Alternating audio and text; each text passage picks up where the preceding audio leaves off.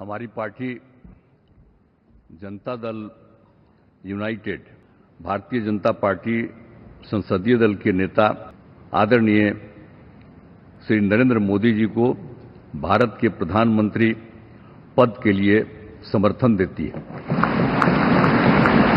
और ये बहुत ही खुशी की बात है। दस साल से ये प्रधानमंत्री हैं और फिर प्रधानमंत्री होने जा रहे हैं। और इन्होंने पूरे देश की सेवा की। अब पूरा भरोसा है कि जो कुछ भी बचा है, अगली बार ये सब पूरा कर देंगे।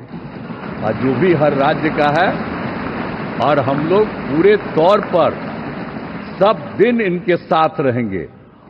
और आप जान लीजिए कि कुछ लोग हम लोगों को तो अब लगता है कि अगली बार जो आप आइएगा ना तो इस बार हम देखें कि कुछ इधर उधर कुछ जीत गया है, अगली बार सब हारेगा। हमको पूरा भरोसा बिना मतलब का बात बोल बोल करके क्या किया है? और ये सब कोई काम किया है? उन लोगों ने आज तक कोई काम नहीं किया लेकिन आपने इतनी सेवा की है, और उसके बाद इस तरह से हुआ है, तब इस बार फिर जो मौका मिला है तो इस मौका के बाद आगे अब उन लोगों के लिए कोई गुंजाइश नहीं रहेगा। तो इसीलिए हम लोग तो पूरे तौर पर हर तरह से जो आप चाहिएगा, उस काम के लिए हम लोग लगे रहेंगे। और बहुत अच्छा होगा अब जितने लोग साथ हुए हैं, अब बहुत अच्छा है। हम मिल करके सब लोग चलेंगे और हम लोग पूरा आपके साथ रहेंगे और आप पूरे देश को कितना आगे बढ़ाएँगे, ये बहुत खुशी की बात होगी। यही हम लोगों को कहना है।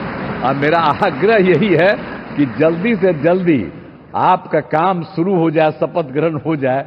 अब आप एतवार को करने वाले हैं तो हम तो चाहते थे कि आजो हो जाता तो अच्छा था। लेकिन, लेकिन आपकी जब इच्छा है तो जब भी हो जितना तेज़ी से काम हो जाए तो बहुत अच्छा है। और पूरे देश में इसका बहुत ज़्यादा फ़ायदा है।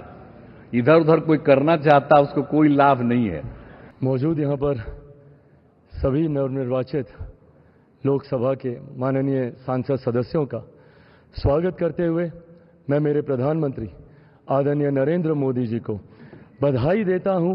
आपकी वजह से एनडीए को ये प्रचंड जीत हासिल हुई है।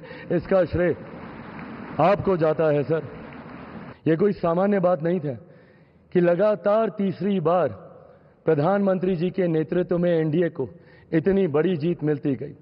हम लोग सर जब क्षेत्र में जाते थे, आपके नाम पर जिस तरीके का उत्साह देखने को मिलता था, ये हम सबके लिए गर्व की बात होती थी कि हमारे नेता एक ऐसा नेतृत्वकर्ता हम लोग के पास है जिसको लेकर जनता में विश्वास है।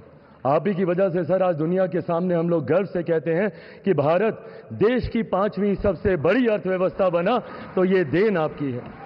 मैं यहाँ इस सदन में मौजूद तमाम वरिष्ठ नेताओं का अभिवादन करते हुए मैं चिराग पासवान, जो यहाँ पर प्रस्ताव माननीय रक्षा मंत्री जी, आदरणीय राजनाथ सिंह जी के द्वारा आया है, मैं चिराग पासवान, मेरी पार्टी, लोक जनशक्ति पार्टी रामविलास की तरफ़ से, एनडीए संसदीय दल के नेता पद पर, श्री नरेंद्र मोदी जी के नाम का समर्थन करता हूँ।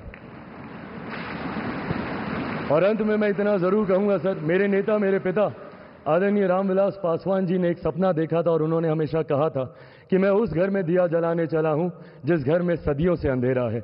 मुझे लगता है उनके इस सपने को, उनके इस लक्ष्य को और करोड़ों देशवासियों को अंधकार से निकालने की उम्मीद एकमात्र आप हैं, सर। इसके लिए आपका बहुत बहुत धन्यवाद बहुत बहुत आभार। जय हिंद। और वीडियो देखने के लिए रिपोर्ट भारत को सब्सक्राइब करें।